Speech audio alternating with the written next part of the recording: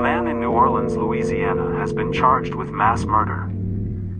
He turned the corpses of his victims into Halloween decor.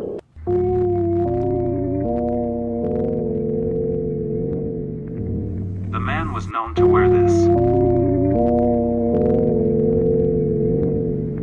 This is the first victim.